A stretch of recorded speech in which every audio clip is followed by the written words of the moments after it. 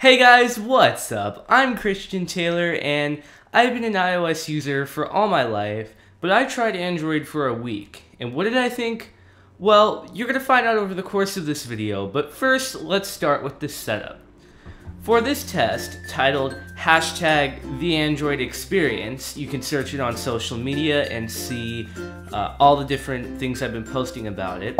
Anyway, but uh, this test, I was using a Samsung Galaxy S4 running Android 4.4.2, I believe. Uh, don't hold me to it, I'll have to check in the settings and make an annotation. But yeah, basically I was testing out Android for an entire week. Now, before you say, wait a second, the Galaxy S4 is an old phone, like that's years old. I do realize this, um, it's all I could get my hands on. Shout out to Dwight K.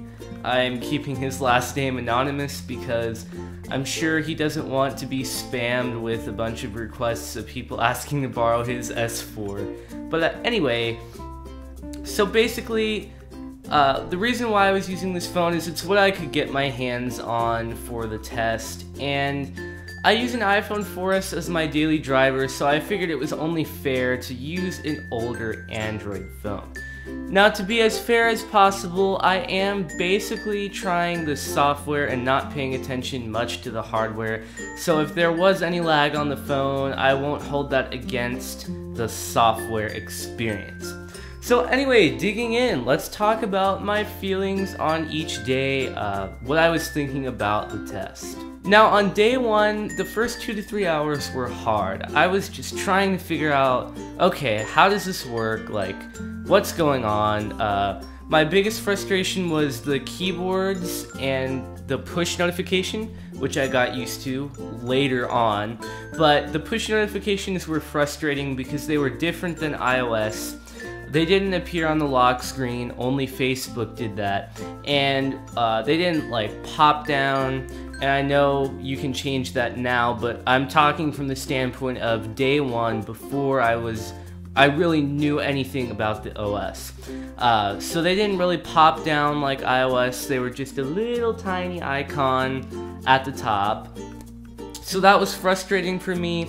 Also, well, however, on the flip side, I really did like the messenger notifications for Facebook chat heads. I know they're kind of a little bit odd, but I actually really liked those. I thought they were really cool, convenient, and fast, and just awesome.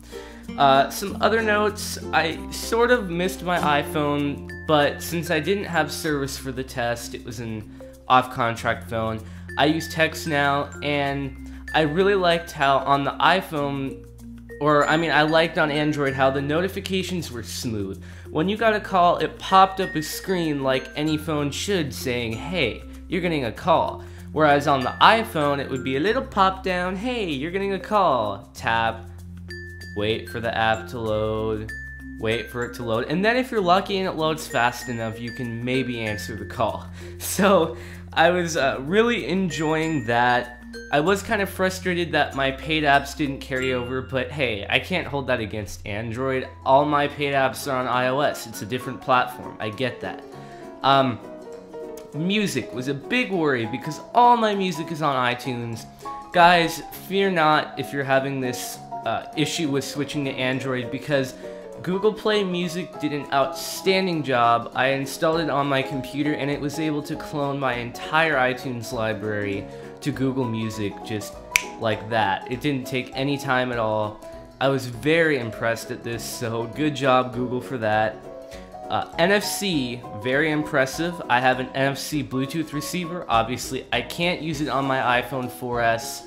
I was very pleased to see how quick this works.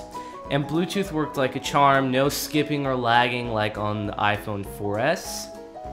Uh, so day two was the battery test. I started my day with 100% battery.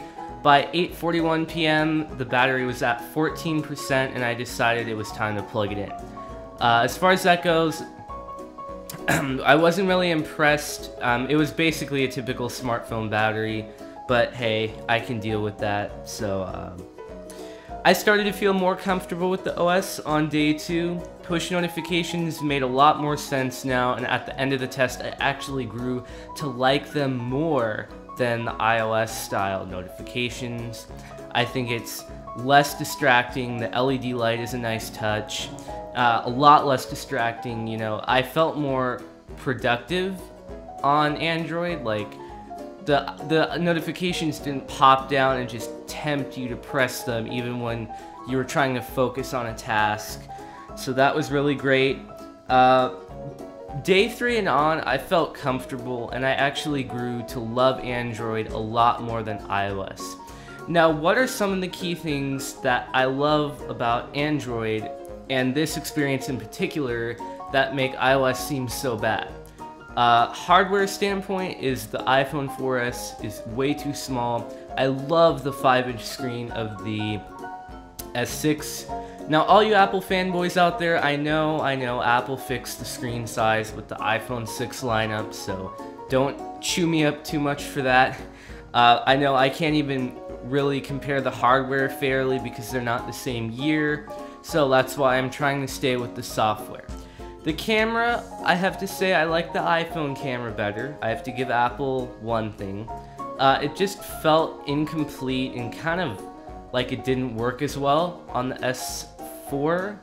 Uh, but like I said, on the iPhone, or, I mean, like I said, I'm comparing mainly software, but yeah, guys, I've been an Apple fan my whole life, never even considered trying Android, but I would highly recommend that you guys try this because I was really surprised at how uh, clean and productive the OS was, and it just really wasn't something I expected out of it. So in conclusion, I was definitely surprised at the results.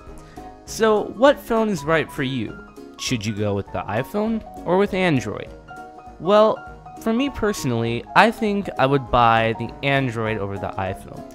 Now this is something that's really hard to say because I've always had a soft spot for Apple and I still have a soft spot for Apple.